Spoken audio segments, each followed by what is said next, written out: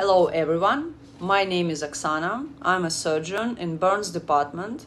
I'm a professor of Stavropol State Medical University, Russia. Area of my scientific and practical interests are wounds, burns, electric injuries, different types of surgical infection, and of course scars.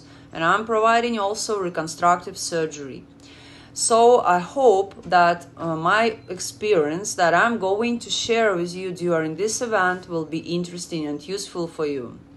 And we are inviting you to participate in the first Congress of Indian Society of Aesthetic Medicine CanCon India 2023 that will be held on 4th 5th November at New Delhi, India. We are looking forward to see you as a part of our professional society and we hope that you will enjoy the conference. See you all there.